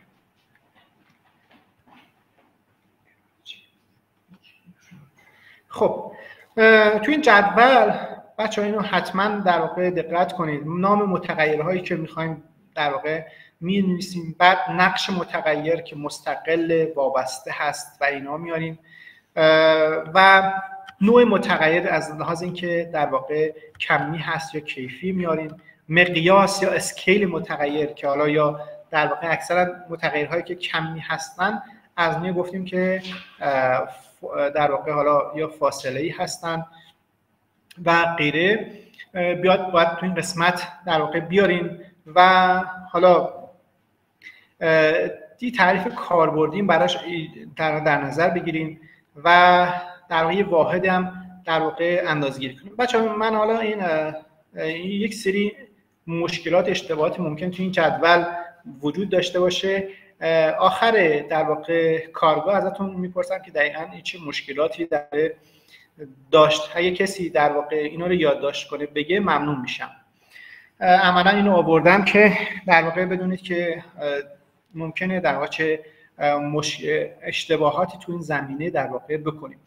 بعد واحد اندازه‌گیری مثلا بیان آی مثلا کیلوگرم متر مربع و مثلا اچ میلی گرم بر لیتر و ال به همین سمت یا انسولین میکروگرم بر لیتر در واقع آورده یا سایر هورمون هم به همین ترتیب واحدهاشون یا ایوانسی به صورت مثلا درصد در واقع مثلا 8 درصد 6 درصد اینا در واقع بیان میشه که باید واحدهای اندازه‌گیریشون هم بیاریم.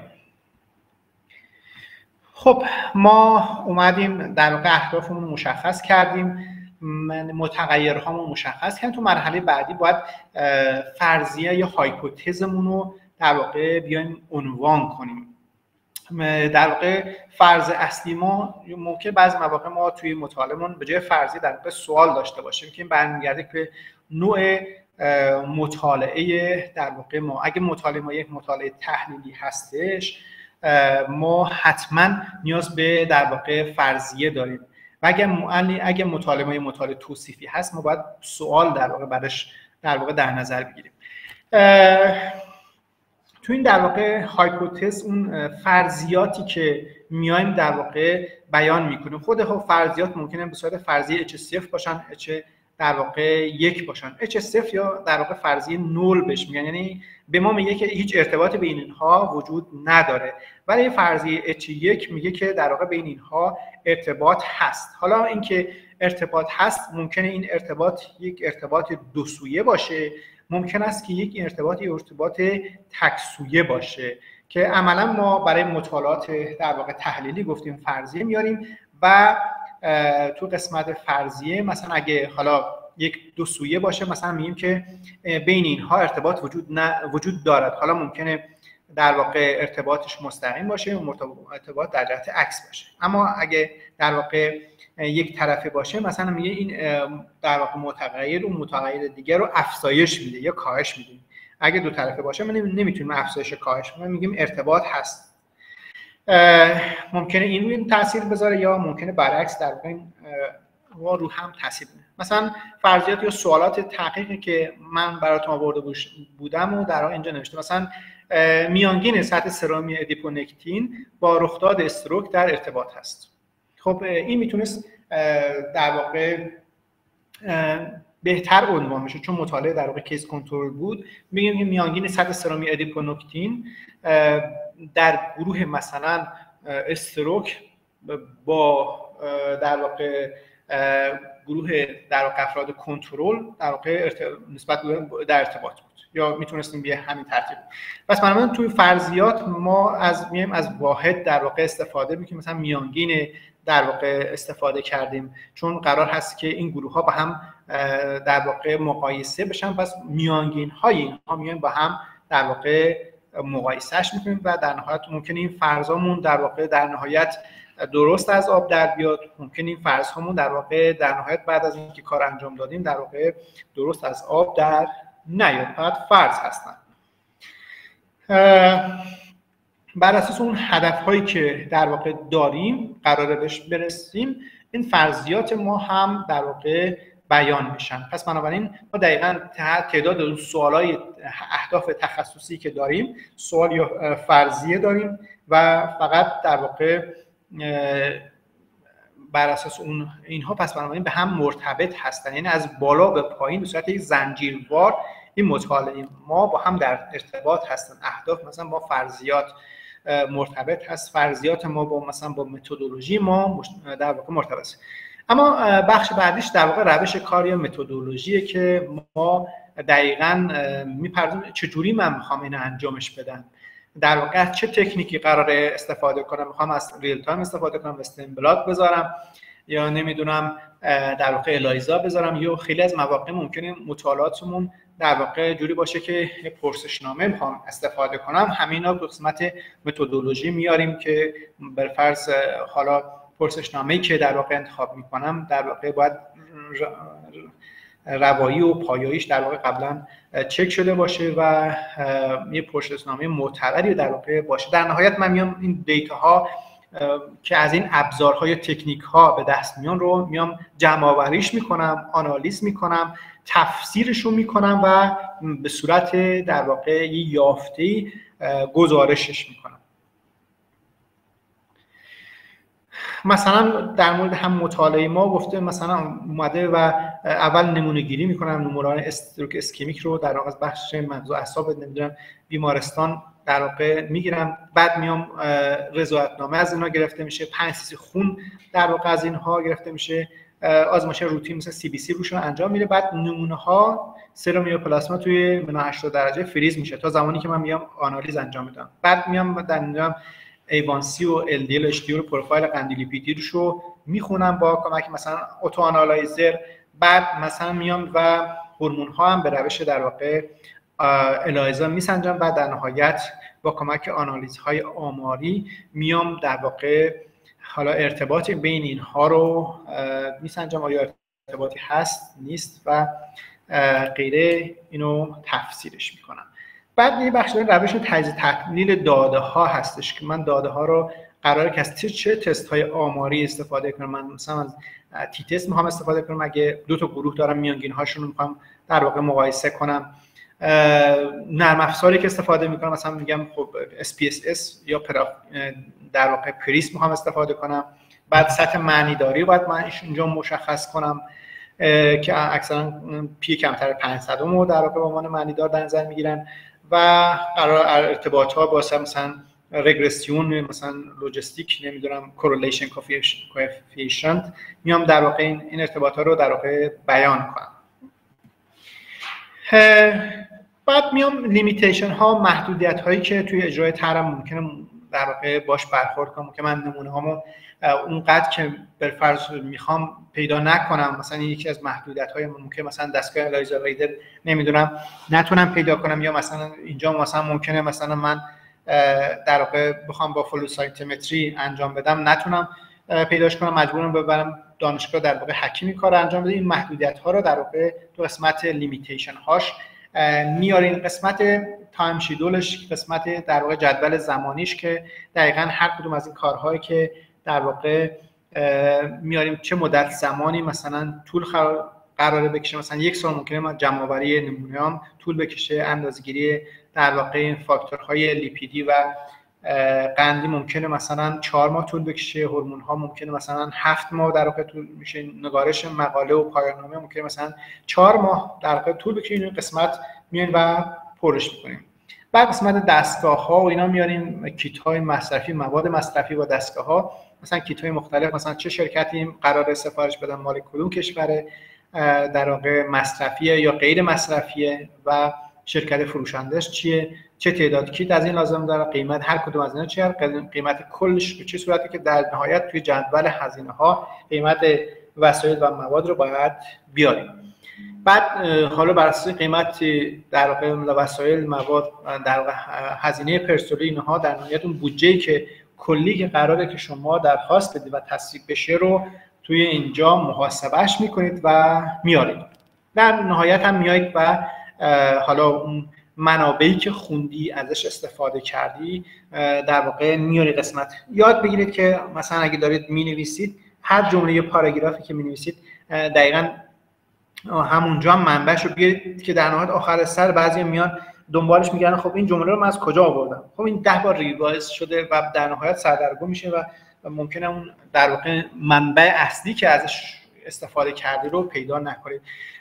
توصیه می‌کنم که حتما کنارتون کنار نرم افزار Word که دارین تایپ می‌کنین پروپوزالتون در واقع EndNote هم نصب کنید و اون در واقع مقالاتی که می‌خونید وارد EndNote ش کنید. حتی قسمتی داره که PDF رو می‌تونید attach ش کنید در واقع و از اونجا در واقع بخونید اون مقالات رو highlight کنید قسمت هایی که ازش برداشتین پاراگرافاش یادداشت برداری کنید و به این ترتیب دیگه شما دچار سردرگمی نمیشید یا مثلا توی reference دادن در واقع شما دیگه شما دچار مشکل نمیشید که اگه یه reference ی کم بشه یه reference ی زیاد بشه ترتیب reference های شما در واقع به هم نمی‌خوره یا مثلا ممکنه مثلا بعضی از در واقع حالا نوت استفاده می‌کنم مثلا ممکنه استایل مختلف وجود داره. بعضی مثلا دانشگاه مثلا میگن ونکوور انتخاب کنید بعضی میگن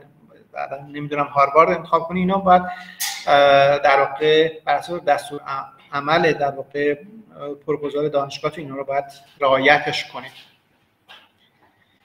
ارگان هایی که قراره که از شما حمایت کنن اگه قرار مثلا تر درون دانشگاهی هست خب دانشگاه شما باید حمایت کنه. اگه مثلا بین دانشگاهی هستش ببین چند درصد باید دانشگاه دیگه کمک کنه چقدر شما باید کمک کنه همه اینها در واقع مشخص باشه. و اینکه قسمت های چیزی که ترتیبی که رعایت کنه مثلا بالفرض نهایت شما نیایید. یک مثلا بیان مقدماتون خیلی بنویسید بعد بیاین مثلا متدتون خیلی کم. یعنی این در واقع ترتیب اینها رو رعایت کنید که مثلا حالا نوشته مقدمه مثلا بالفرض باید در حد مثلا پنج پاراگراف نه یه دفعه دو صفحه بنویسید. یا قسمت متدش مثلا باید اینقدر باشه. نه کم یا زیادش کنید. این ترتیب اینا رو در واقع رعایتش کنید. افراد و تفرید در واقع نشه در رفرنس هم که توضیح دادیم کتاب ها ژورنال ها مجلات حتی ممکنه سایت های خبری همه اینا می‌تونه در واقع عنوان منبع شما استفاده بشه. و در نهایت هم که حالا نتیجه گیری که در واقع حالا از این طرح دارین از اون یافته های شما باید بتونید در واقع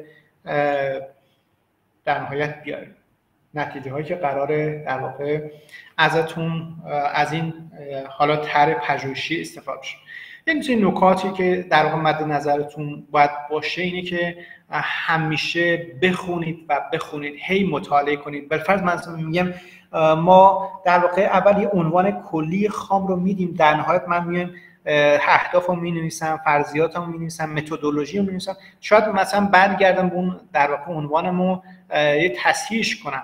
یا مثلا من وسط کارم ممکنه در واقع ببینم این متدم جواب نداد متدم رو در واقع عوضش کنم.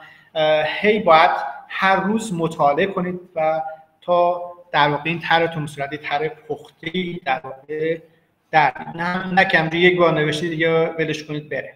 اینو در واقع هر روز بهش بپردازید هر روز در واقع چکش کاریش کنید.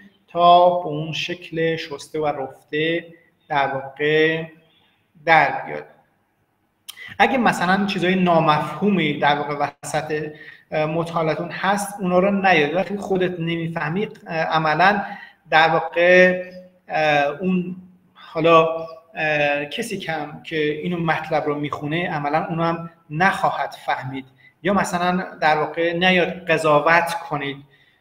بالفرض و یا مثلا سوگرایی کنید یا بایاس داشته باشه مثلا ده تا مطالعه تو این زمینه انجام شده. من خب دوست دارم اثر این در واقع بگم که فلان ماده رو این اثر داره. همه مقالاتی که مثلا اثر داره رو بیارم.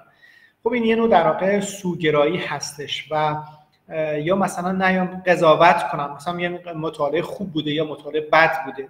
ما مطالعات با اون نتایجی که در واقع بودن رو به همین شکل در واقع بیاریم و بیانش کنیم یه چک لیستیه حالا اون داوری که می‌خواد در واقع پروپوزال شما اندازه گیری کنه دقیقا اون آیتم ها داخلش مثلا هست که این چک لیست رو اگه شما داشته باشید خودتون هم می‌تونید خودتون رو در واقع داوری کنید. بیاید مثلا قسمت موضوعتون رو آیا این موضوع شما قابلیت اجرایی داره یا نه؟ خب بیایم اینو چکش کنیم. یا در واقع با این تجهیزات و منابعی که اینجا هست آیا می‌تونیم این کار رو انجامش بدیم یا نه؟ خب اگه جواب منفی باشه خب هم موضوعمون رو عوض می‌کنیم. یا مثلا آیا عنوان مختصر مفید و گویا نوشته شده یا نه؟ خب میایم در واقع چکش می‌کنیم. آیا اینجوری هست یا نه؟ ما دو تا عنوان فارسی و انگلیسی داریم. آیا این عنوان های فارسی و انگلیسی به هم می‌خورن یا نه؟ در مواقع مثلا عنوان در فارسی رو می‌نویسیم بعد این فارسی رو میدیم به گوگل ترنزیت برای ما انگلیسی در واقع تبدیلش می‌کنه. خب این در واقع تو مرحله اول خوب است. ولی باید ببینیم که خودمون هم ریوایزش کنیم. ممکنه در واقع نرم افزار ممکنه اون چیزی که مد نظرمون هست رو نتونه در واقع تبدیلش کنه به در واقع انگلیسی. نیاز است که من بیام و در واقع یه revise انجام بدم. مثلا من اگه در واقع یه کلمه فرض یا برعکسش مثلا از انگلیسی می‌خوام به فارسی تبدیل کنم اگه بدم translate مثلا من اگه بدم acid and base بدم تو Google Translate دقیقا به من میگه اسید و پایه. چون base رو به عنوان پایه در نظر ولی من در واقع مفهوم در واقع باز بوده. دو تا اصلا کلا با هم زمین تا آسمون متفاوت هستن. و اگه مثلا اون داور اینو ببینه دقیقا آبروی خودمون زیر سوال میره و میگه اصلا چقدر این آدم بی سوادی بوده که در واقع نتونسته خودش رو اینو برگردونه و داده همینجوری در واقع ترجمهش کرد. در اون قسمت بیان مسئله آیا دامنه مسئله پژوهش محدود و عینی شده است؟ آیا مسئله پژوهش به روز ناول نوولیتی داره یا نه؟ این خیلی مهمه خیلی داوره. مثلا میگه آره این در واقع نوبلیتی نداره همونجا ردش می‌کنن. آیا سوال اصلی در واقع یا question در واقع research مو تو انتهای بیان مسئله آورده شده یا نه؟ مثلا ما تو قسمت بیان مسئله اون آخرش میگیم خب این کار انجام شده این کار انجام شده و من می‌خوام این کار انجام بدم. اونجا در واقع ما اون در واقع هدف کلیمون رو اونجا بیانش می‌کنیم.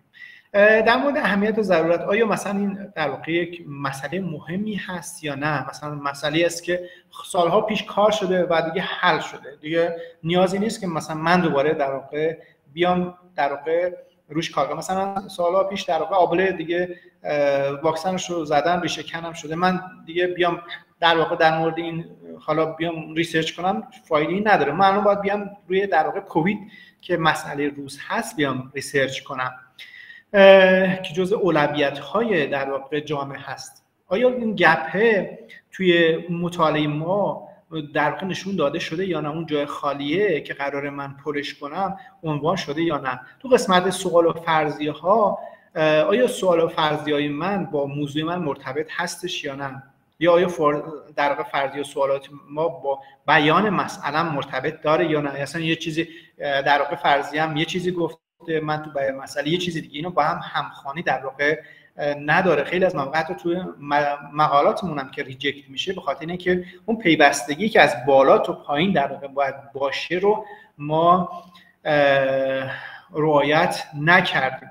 قسمت متدولوژیمون آیا روش در واقع پژوهشیمون بر اساس موضوع انتخاب شده یا در واقع نه؟ آیا جامعه هدف به درستی تعریف شده؟ تعداد نمونه هایی که قراره که من روش کار کنم آیا به اندازه کافی هست یا نه من باید در واقع من فرض میگم که طبق فلان فرمول من حجم نمونه هامو در واقع به دست آوردم و اینقدر شده. دیگه بهم گیر ندن که چرا نمونه کم یا زیاده یا و بقیه ابزارها و روش جمع داده ها مثلا اگه من قرار از real time استفاده کنم خب در واقع اینو باید بیانش کنم. این تکنیکی که قرار استفاده کنم باید در واقع بیان کنم. اون حالا روش تجزیه تحلیل اون آنالیز آماری که در تست آماری که قرار انجام بدم باید این قسمت بیان کنم و قسمت منابعم من می‌تونم در واقع آیا مثلا این منابعی که استفاده کرده به روز هستن یا نه؟ مثلا من تو قسمت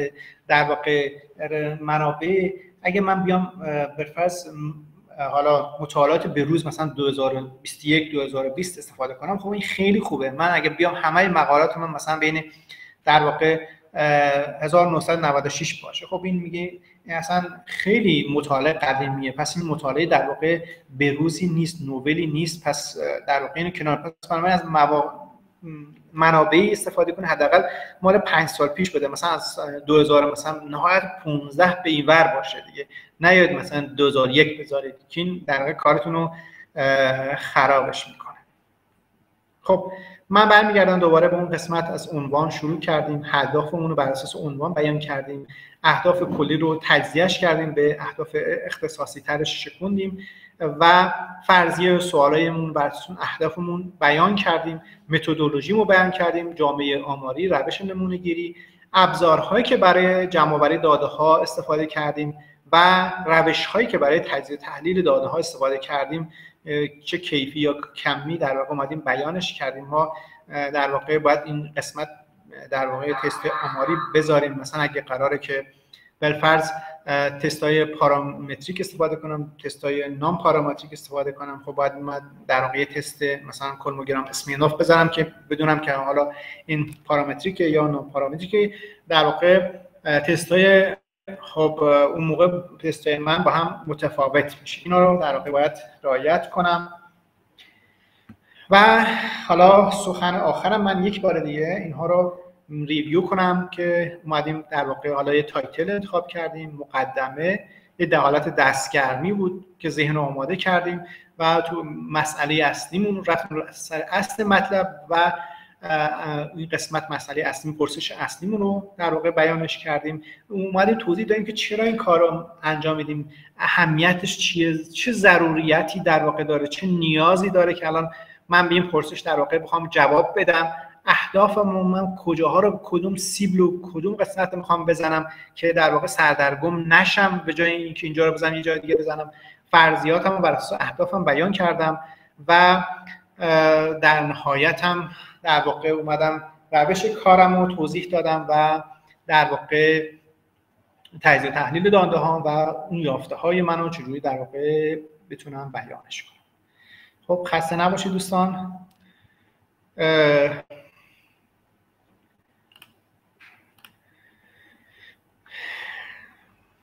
اگه حالا سوالی هست من در خدمت شما دوستان هستم.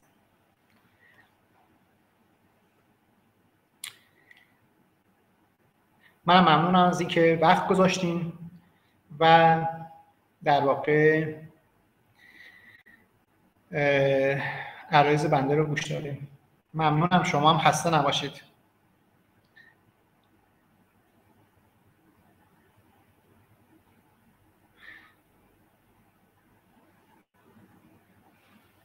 از حضورتون تشکر می‌کنم و همه شما دوستان رو به خدای بزرگ میسپارم. مواظب خودتون خانوادهتون باشین توی ایام کرونا و امیدوار هستم که حالا تو ریسرچی که قرار هست انجام بدین در واقع موفق و معید باشید خدا حافظ همه شما دوستان. خدا حافظ